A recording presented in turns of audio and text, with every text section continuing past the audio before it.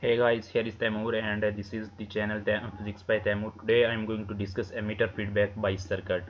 Last lecture में हमने पढ़ लिया था कि बेस बाई सर्किट क्या होता है बेस बाई सर्किट की ये अरेंजमेंट जो है वो ये डायग्राम में आपके सामने दी गई है इसकी अरेंजमेंट तो ये सामने दी गई है जिसमें हमने बेस के ऊपर एक रजिस्टर कनेक्ट किया हुआ है और कलेक्टर के ऊपर एक रजिस्टर कनेक्ट है तो इसकी हमें चूँकि पता है आउटपुट हमें जो है वो कलेक्टर से जो है वो हासिल होती है इसलिए कलेक्टर के साथ जो है वो हमने रेजिस्टेंस कनेक्ट की हुई है लास्ट लेक्चर में हमने इसे डिस्कस कर लिया था कि इसे हम इलेक्ट्रॉनिक सर्किट में यूज़ नहीं कर सकते। इसकी वजह जो हमने बयान की हुई थी वो ये थी कि इसका ये वाला फार्मूला जो हमें लास्ट पे गेन हासिल होता है, इसमें आई सी जो कलेक्टर का करंट होता है वो डिपेंड कर रहा होता है बीटा डी सी पे।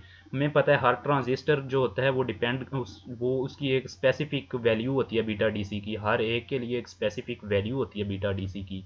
जो टेम्परेचर पे डिपेंड करती है। जैसे ही टेम्परेचर इंक्रीज करेगा बीटा डीसी की वैल्यू इंक्रीज करेगी बीटा डीसी की वैल्यू इंक्रीज करेगी दैट मीन कि आई की वैल्यू इंक्रीज करेगी। अब अगर आईसी की वैल्यू इंक्रीज करती है, इसका मतलब क्या हुआ कि टेम्परेचर इंक्रीज करेगा। टेम्परेचर इंक्रीज करेगा तो बीटा डीसी की वैल्यू इंक्रीज करेगी। ये जो बीटा डीसी की वैल्यू में इंक्रीमेंट है, ये जो होता है, ये हमें ट्रांजिस्टर को जो होता है, वो अनस्टेबल बना देता है मतलब उसको स्टेबलाइज नहीं करता। अब इस अनस्टेबिलिटी पे ओवरकम करने के लिए हमारे पास एक न्यू सर्किट डिज़ाइन किया जा सकता है, जिसे हम कहते हैं एमीटर फीडबैक बाई सर्किट। ये सर्किट जो होता है, इसमें हमें जस्ट करना कुछ नहीं है। बेस बाई सर्किट ही लेने हैं, लेकिन उसमें एमीटर के ऊपर यहाँ पे यहाँ पे हमें एक रेजिस्टेंस कनेक्ट करनी है। यानी एमीटर के ऊपर जस्ट एक रेजिस्टेंस कनेक्ट करेंगे बेस बाई सर्किट लेंगे, उसके एमीटर पे हम जस्ट एक रेजिस्टेंस कनेक्ट कर देंगे तो जो हमारे पास सर्किट डिज़ाइन होगा,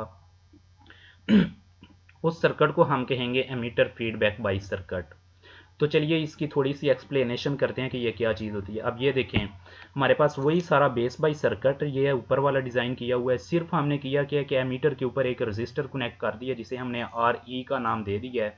तो इसे ऐड करने से जो हमारे पास सर्कट डिज़ाइन हो गया, उसे हम कहते हैं एमीटर फीडबैक बाई सर्किट यानी अब इस सर्किट को हम कहेंगे एमीटर फीडबैक बाई सर्किट चलिए थोड़ी इसकी डिस्क्रिप्शन पढ़ते हैं कि ये वर्क कैसे करेगा। आप देखें हमारे पास जैसे ही यहाँ से हमने करंट इसको दिया तो ये करंट यू आई बी की फॉर्म इधर फ्लो करना शुरू कर दिया। अब इसको फॉरवर्ड बाइस होने के लिए हमें पता है कि जो होता है वो एमीटर लो पोटेंशियल पे होना चाहिए और बेस जो होती है वो हाई पोटेंशियल पे होनी चाहिए।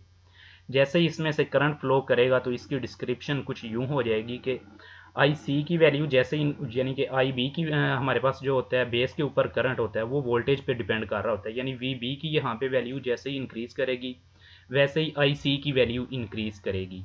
आई सी की वैल्यू इंक्रीज करने से आई ई की वैल्यू इंक्रीज करेगी। यानी एमीटर पे करंट जो होगा, वो इंक्रीज करेगा। जैसे ही कलेक्टर पे करंट इंक्रीज करेगा, उसके साथ ही एमीटर पे जो करंट होगा, वो इंक्रीज करेगा। एमीटर पे करंट इंक्रीज हुआ, इसका मतलब क्या हुआ कि उसने ज़्यादा वोल्टेज यूज़ किया।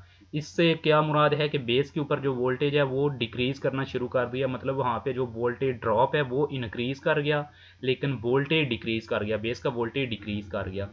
इस फिनामिना को हम कहते हैं नेगेटिव फीडबैक नेगेटिव फीडबैक क्यों? क्योंकि एक चीज़ की इंक्रीज करने से दूसरी चीज़ डिक्रीज हो रही है। यानी कि जो इनपुट हमारी होती है, उसका कुछ पार्ट जो होता है, वो डिक्रीज कर रहा होता है। वोल्टेज ड्रॉप जो है, वो वहाँ पे इंक्रीज कर गया, लेकिन वोल्टेज जो होता है, वो डिक्रीज कर गया है। तो इस इफ़ेक्ट को हम कहते हैं नेगेटिव फीडबैक बाई सर्किट अब इसके लिए हमने सिंपल वही जो पीछे हमने बेस बाई सर्किट में किया था, उसके ऊपर हमने किरचप वोल्टेज ला लगाया था और इस वोल्टेज ला से हमने आई ई e की वैल्यू निकाली है, जो एमीटर का करंट है, उसकी वैल्यू निकाली है। तो अब ये जो वैल्यू हमने निकाली है, इसको हम डिस्कस करते हैं कि ये किस तरह से हमारे जो है वो वर्क कर सकती है हमारे लिए।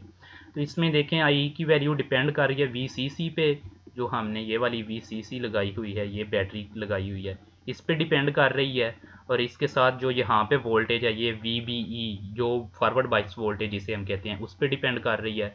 साथ में ये आर बी पे डिपेंड कर रही है, जो हमने ये नीचे लिखा हुआ है। V C C V B E R E और आर बी और बीटा डी सी पाँच चीज़ों पे डिपेंड कर रही है। अब जो वी सी सी है, ये बहुत बड़ी वैल्यू है as compare with V B V B हमें पता है जो हमारे पास है, वो पॉइंट सेवन वोल्ट है, जो बहुत कम है। इसलिए इस पे जो है, वो इतना डिपेंडेंट नहीं है। अगर ये वी बी की वैल्यू चेंज होती भी है तो भी वी सी सी में कोई ख़ास फ़र्क नहीं पड़ने वाला। इसके साथ आप देखते हैं कि ये जो नीचे वाली वैल्यूज़ हैं, जो डिनोमिनेटर में इनमें देखें आर ई e और आर बी पे डिपेंड कर रही है और बीटा डी सी पे। हमें पता है टेम्परेचर इंक्रीज़ करने से जो आर बीटा डी सी की वैल्यू है, वो इंक्रीज़ होती है।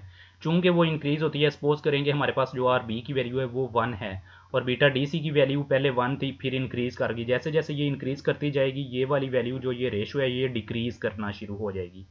बीटा डी सी की वैल्यू इंक्रीज़ हुई तो ये वाली रेशो डिक्रीज़ होना शुरू हो गई। अब ये चूँकि डिक्रीज़ होती जा रही है तो ये मज़ीद छोटी हो जाएगी तो ये आर ई में अगर हम ऐड करें भी तो कोई ख़ास फ़र्क नहीं उस पर पड़ेगा। चूँकि उस पर कोई ख़ास फ़र्क नहीं पड़ेगा, इसलिए जो हमारे पास आई ई e हमें गेन होगा, वो एक स्टेबल क्वांटिटी होगी, उसमें कोई इतना फ़र्क नहीं पड़ेगा। इसलिए ये जो है, ये आम सर्किट में यूज़ किया जा सकता है हमारे पास, और इसे हम सर्किट में यूज़ करते हैं। तो आज बस इतना ही था मीटर फीडबैक बाई सर्किट इसके साथ ही इजाज़त चाहते हैं, अल्लाह हाफिज़।